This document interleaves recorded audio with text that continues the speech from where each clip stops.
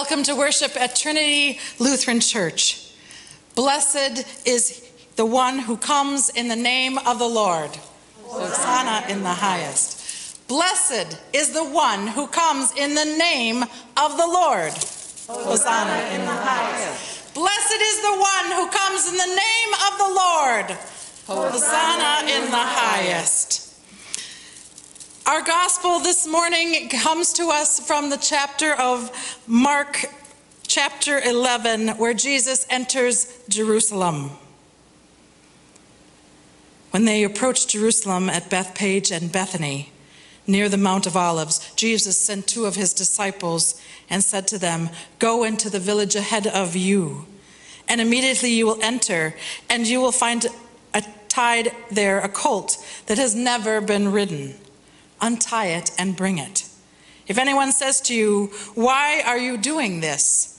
just say this The Lord needs it, and will send it back to them immediately. Then they went away and found a colt tied near a door outside in the street. And as they were untying it, some of the bystanders said to them, What are you doing untying that colt? And they told them what Jesus had said, and they allowed them to take it. Then they brought the colt to Jesus. They threw their cloaks on it, and he sat on it. And many people spread their cloaks on the road, and others spread leafy branches that they had cut from the fields. Then those who went ahead and those who followed started to shout, Hosanna! Blessed is the one who comes in the name of the Lord. Blessed is the coming kingdom of our ancestor David. Hosanna in the highest heaven. Then he entered Jerusalem and went into the temple.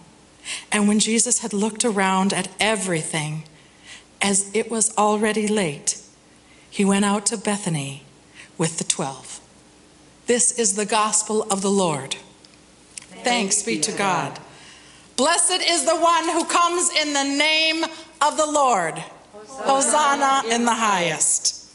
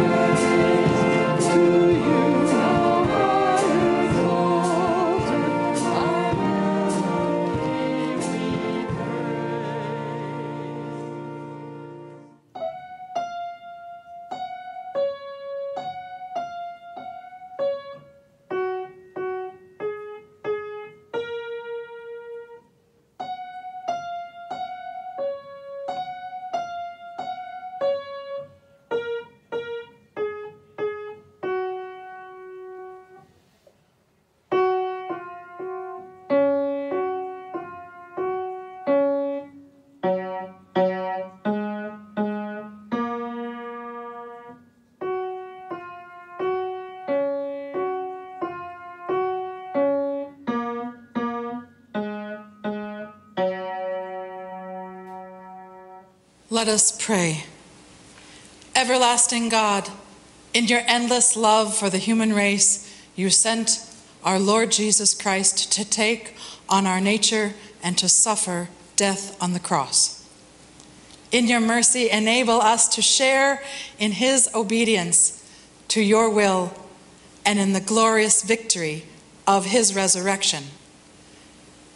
For the one who lives and reigns with you and the Holy Spirit, one God, now and forever. Amen. Our gospel for today. Gospel of Mark, chapter 15, verses 1 through 39. From the message. At dawn's first light, the high priest, with the religious leaders and scholars, arranged a conference with the entire Jewish council. After tying Jesus securely, they took him out and presented him to Pilate. Pilate asked him, Are you king of the Jews? Jesus answered, If you say so. The high priest let loose a barrage of accusations. Pilate asked again, Aren't you going to answer anything? That's quite a list of accusations. Still, Jesus said nothing. Pilate was impressed, really impressed. It was a custom at the feast to release a prisoner, anyone the people asked for. There was one prisoner called Barabbas, locked up with the insurrectionists who had committed murder during the uprising against Rome. As the crowd came up and began to present its petition for him to release a prisoner, Pilate anticipated them. Do you want me to release the king of the Jews to you? Pilate knew by this time that it was through sheer spite that the high priest had turned Jesus over to him. But the high priest by then had worked up the crowd to ask for the release of Barabbas.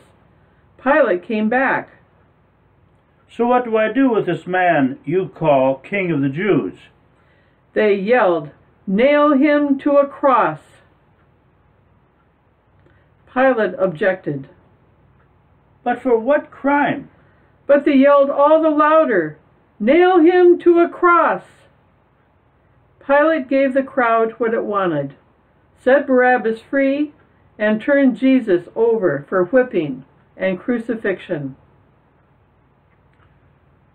The soldiers took Jesus into the palace called Praetorium and called together the entire brigade. They dressed him up in purple and put a crown of thorns on his head, formed from a thorn bush. Then they began their mockery. Bravo, King of the Jews! They banged on his head with a club. They spit on him, knelt down in mock worship. And after they had had their fun, they took off the purple cape and put his own clothes back on him. And then they marched him out to nail him to the cross. There was a man walking by, coming from work, Simon of Cyrene, the father of Alexander and Rufus. They made him carry Jesus' cross. The soldiers brought Jesus to Golgotha, meaning Skull Hill. They offered him a mild painkiller, killer, wine mixed with myrrh, but he wouldn't take it and they nailed him to the cross. They divided up his clothes and threw dice to see who would get them. They nailed him up at nine o'clock in the morning. The charge against him? The King of the Jews. It was scrawled across the sign. Along with him, they crucified two criminals, one on his right and one on his left. People passing along the road jeered, shaking their heads in mocking lament. You bragged that you could tear down the temple and then rebuild it in three days. So show us your stuff. Save yourself. If you're really God's son, come down from that cross.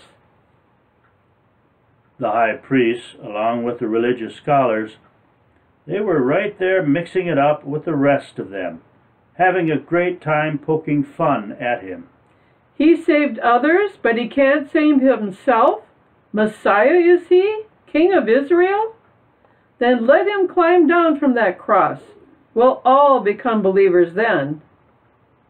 Even the men crucified alongside Jesus joined in the mockery. At noon, the sky became extremely dark. The darkness lasted three hours.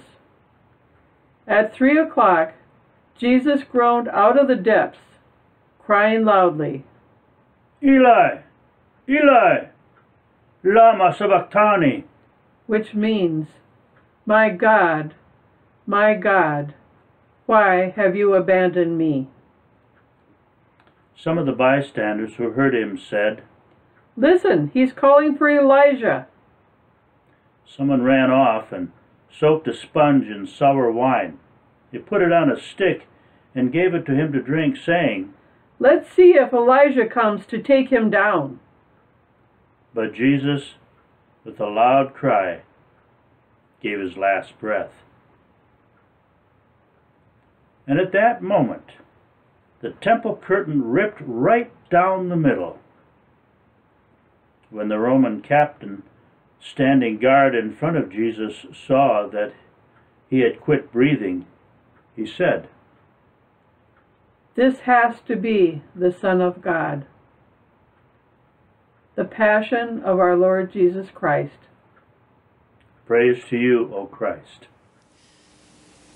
Passerbys, disciples, children, the religious, the sinner. We all praised his name. We were waving palms. We were saying, Hosanna, blessed is the one who comes in the name of the Lord. We were filling this space with joyous sounds. It was festive. And new for this year, instead of having the children waving palms, we had the women, the quilters, those that help us decorate our worship space, bringing in something new of celebration, and that's what we love.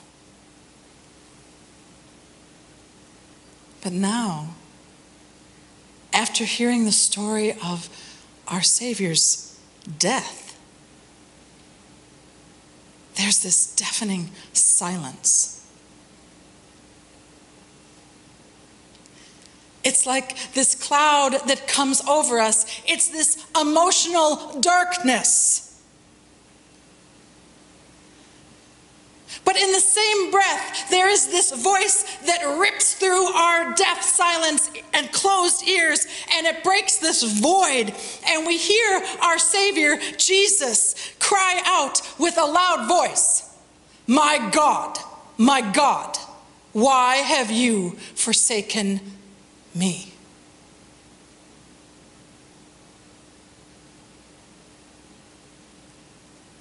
And it's rather telling because those are the exact same words that Jesus' ancestor David shared in Psalm 22.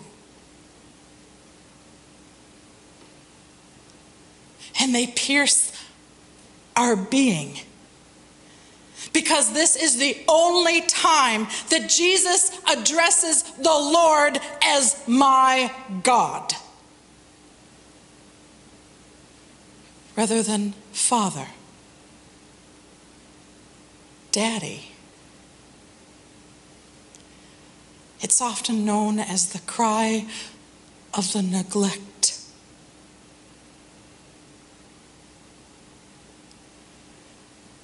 But it's remarkable. Because deserted, he may have felt. Jesus knew that God was his God. And I think for believers today, for you and for me, we can draw great strength for the times that we too have felt orphaned or abandoned and that God was far from us. As awful and painful as it was, Jesus' death is necessary. And it shows that he truly is the Son of God. one who is willing to give his life for all who forsake him. The passerby, the disciple, the child, the hungry, the widow, the orphan, the naked, the addict, the lost, the sick, the prostitute, the apathetic, the too busy, and the self righteous. For us. Amen.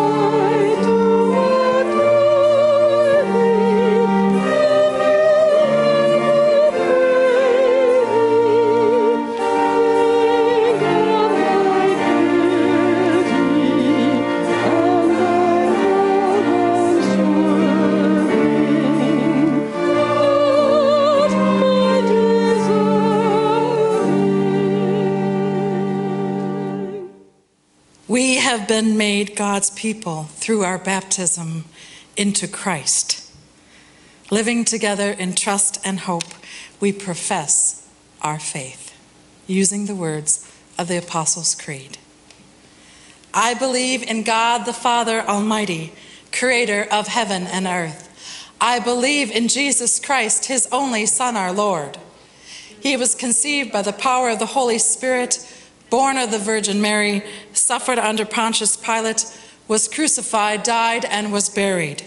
He descended to the dead. On the third day, he rose again. He ascended into heaven, and he is seated at the right hand of the Father, and he will come again, the living and the dead. I believe in the Holy Spirit, the Holy Catholic Church, the communion of saints, the forgiveness of sins the resurrection of the body, and the life everlasting. Amen. Prayers of the Church for March 28, Palm Passion Sunday. Relying on the promises of God, we pray boldly for the church, the world, and all in need. In Jesus, you came among us as a suffering servant. Give us, give your church humility, redeem, redeem your people from pride and the certainty that we always know your will. Heal us and empower us to confess Christ crucified. Hear us, O God. Your mercy, mercy is great.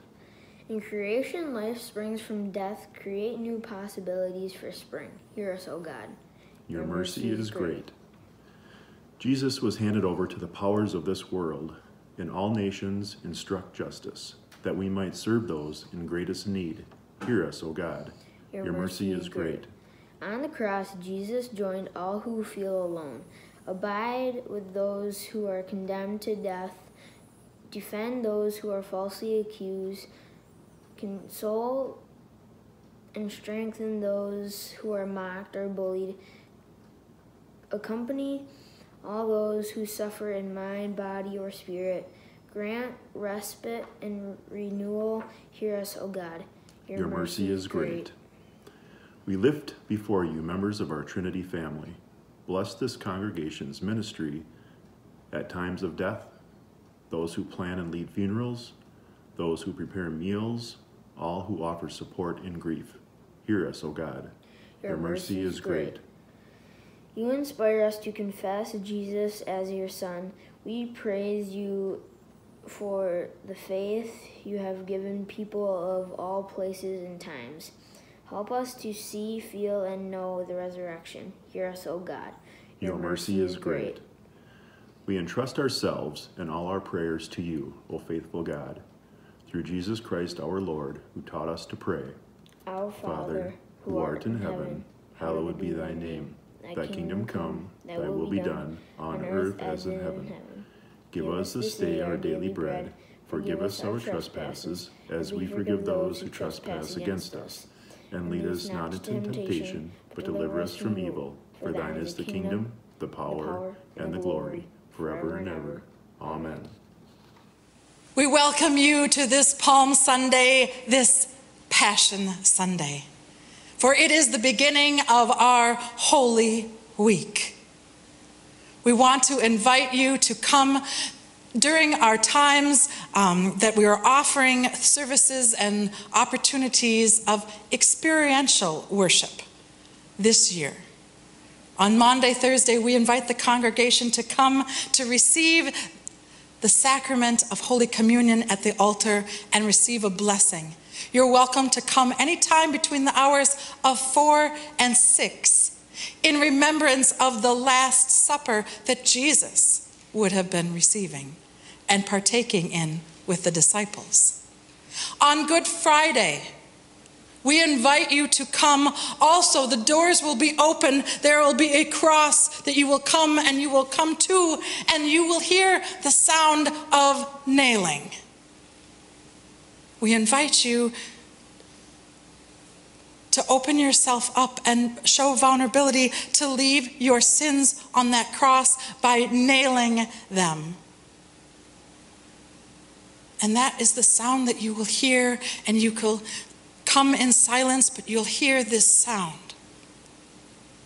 And as you exit, knowing that you have left your sins, your grievances at the foot of Jesus.